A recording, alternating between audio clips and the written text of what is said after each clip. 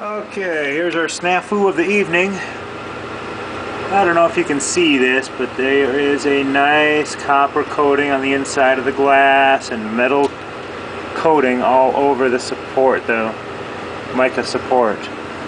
Over here, the nice white uh, Macor is no longer nice and white. It is a nicely coated black.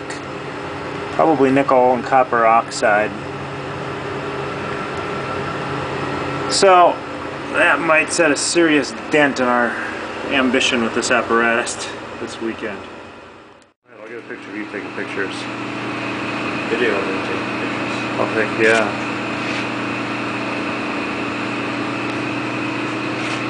Whoops.